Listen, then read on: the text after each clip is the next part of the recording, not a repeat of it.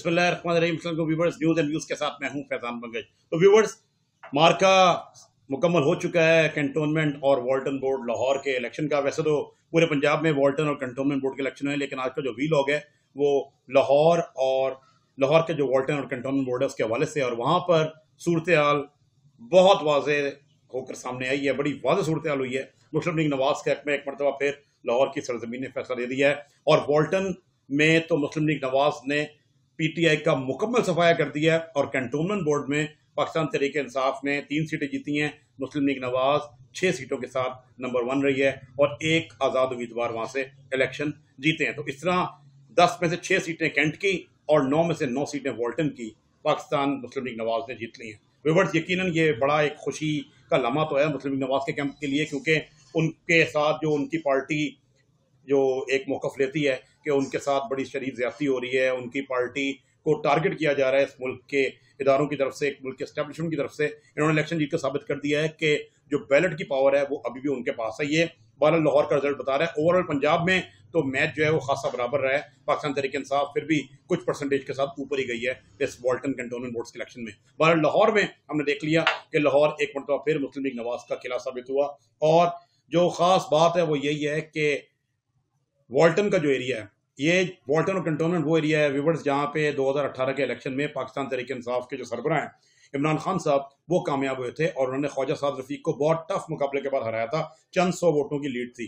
चंद हफ़्ते बाद जब बाई इलेक्शन हुआ तो ख्वाजा साद रफीक साहब दोबारा बाई इलेक्शन में आ गए और हुमायूं अख्तर खान साहब को उन्होंने हरा दिया और वो सीट जीत गए। इस तरह इस वॉल्टन और कंटोनमेंट में जो कौमी असम्बली की एक सीट है और जो सुबाई की दोनों सीटें हैं, मुस्लिम लीग नवाज़ के पास हैं। तो वोटर भी खूब जोश खरोश के साथ निकला। अगरचे टर्न आउट बारिश की वजह से खासा कम रहा, लेकिन इतना भी कम नहीं था कि वो मुस्लिम लीग नवाज़ का जो वोट है, वहाँ पे वो मुतासर हो। मुस्लिम लीग नवाज़ अपने वोटर को कैंपों तक ले आई। बारिश के बावजूद खासा जोश खरोश था, हमने देखा था। हमने खुद इलेक्शन कवर किया, हमने जाके देखा वहाँ पे कि किस तरीके से वहाँ पे जो वोटर है, मुस्लिम लीग नवाज़ का खासा चार्ज अप था और उसने अपनी पार्टी के हक में वोट दिया और फिर आखिर जब रिज़ल्ट आए तो सबके सामने ही था। व्यूवर्स सूरत अब खासी क्लियर है। और अब हुकूमत के लिए, पाकिस्तान तरीके इंसाफ की हुकूमत के लिए लम्हे फिक्री है। लम्हे फिक्री यूँ है कि मरकज़ में भी वो इकतदार में है, पंजाब में भी इकतदार में है, लाहौर की सरजमीन, लाहौर वैसी सूबाई हेडकोार्टर होता है।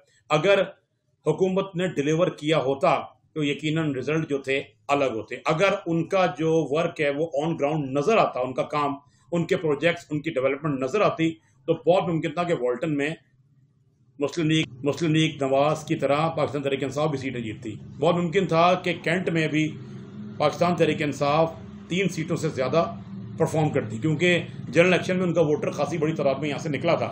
लेकिन अब इन इलेक्शन में नज़र नहीं आया, और व्यूवर्स एक बात और हमें जहन में रखनी चाहिए कि अब ज़्यादा अरसा नहीं रह गया आने वाले आम इंतबात में। पंजाब जो है वो अभी तक तो बैटल ग्राउंड है, पाकिस्तान तरीके इंसाफ और मुस्लिम लीग नवाज़ के दरमियान। लेकिन बहुत मुमकिन है कि अगर इस किस्म का ट्रेंड जो कि कल लाहौर में नज़र आया है, और लाहौर के अलावा गुजरावाला सियालकोट में और पिंडी में नज़र आया है तो वीवर्स ये ट्रेंड जो है वो हुकूमत के लिए, हुकूमत वक्त के लिए खासी खतरे की घंटी बजा रहा है। क्योंकि जब इलेक्शन आम इंतबात अनाउंस होते हैं तो आपको पता है कि बहुत सारे टिकट होल्डर्स हुकूमती पार्टी के हवा का रुख देख के दूसरी पार्टियों का रुख करते हैं। तो पाकिस्तान तरीके इंसाफ को अपनी गिरती हुई साख को बचाना होगा और अब पाकिस्तान तरीके इंसाफ को डिलीवर करना पड़ेगा, क्योंकि इस इलेक्शन से हम कह सकते हैं कि एक इंडिकेटर है पाकिस्तान तरीके इंसाफ के वोट बैंक का, उसकी पॉपुलरिटी का। क्योंकि अगर पाकिस्तान तरीके इंसाफ 2018 की तरह अपने वोटर को यहाँ पर ले आती तो रिज़ल्ट कुछ और था, लेकिन वो वोटर कैसे निकलेगा जब महँगाई की सतह आगे पहुँच जाएगी लॉ एंड ऑर्डर और जो दीगर मामला हैं, खासकर डेवलपमेंट महँगाई और डेवलपमेंट के दो ऐसे इशू हैं कि आवाम जो है बर रास्त जो है, इस पर सवाल करती है हुकूमत से। महँगाई से मुतासर होती है और डेवलपमेंट जो आप देखते हैं कि बारिशों के बाद सड़कों पर पानी खड़ा होता है और जब उनकी सुनवाई नहीं होती आवाम की, और जब देखते हैं कि वहाँ पर कंस्ट्रक्शन नहीं हो रही होती, उनके मामला हल नहीं हो रहे होते तो फिर लोगों का गुस्सा जो बैलेट में निकलता है और लोगों ने अपना गुस्सा यहाँ पे दिखाया है। पाकिस्तान पीपल्स पार्टी की अबतर सूरत हाल है। इतनी अबतर के उन्नीस सीटों में जहाँ इलेक्शन हुआ, उसमें वो एक सीट भी नहीं जीत सके और व्यूवर्स ये वही हल्का है, जहाँ पे किसी ज़माने में पाकिस्तान पीपल्स पार्टी हारती नहीं थी। उन्नीस सौ अठासी उन्नीस सौ नब्बे में एतजाज हसन साहब यहाँ से एम रहे थे, और ये वॉल्टन और कैंट का जो इलाका है, पीपल्स पार्टी के वोटरों से भरा होता था। और फिर एक टाइम ऐसा है कि ये वोटर आहिस्ता आहिस्ता शिफ्ट होना शुरू हो गया मुस्लिम लीग नवाज़ की तरफ़ और कुछ पाकिस्तान तरीके इंसाफ की तरफ़। तो पीपल्स पार्टी को अब अपना वोट वापस लाना होगा। वो कैसे लाती है? ज़ाहिर पीपल्स पार्टी के जो अकाबरीन हैं उनको बड़ी संजीदगी से ही ये बात करनी पड़ेगी। सिर्फ़ जो जोशीली तकरीरों से काम नहीं बनता, अवाम में जाना पड़ता है, अवाम को समझाना पड़ता है और अवाम को कायल करना पड़ता है। बहरहाल, अब देखते ये हैं कि आगे क्या होने वाला है। बहरहाल, ये मार्का मुस्लिम लीग नवाज़ ने जीता है। मरीम नवाज़ साहबा ने मुबारकबाद भी, ख्वाजा साद रफीक साहब को और जो नीचे दो एम पी एज़ हैं, यासीन सोल साहब और मियाँ नसीर, उनका भी यहाँ पे वर्क था। यासीन सोल साहब के अपने साहबजादे हैं, शारिक सुहेल सोहल, वो भी कामयाब हुए हैं। तो उनके लिए भी खासी बहरहाल ये खुशी का मौका है। तो एक बात नज़र आ गई है कि मुस्लिम लीग नवाज़ की जो तंजीम है, वो खासी इंटैक्ट है, लाहौर में, वॉल्टन में कंटोनमेंट में। और दूसरा ये है कि जब हुकूमत वक्त बुरा परफॉर्म करेगी तो उसका असर भी उसको सहना पड़ेगा।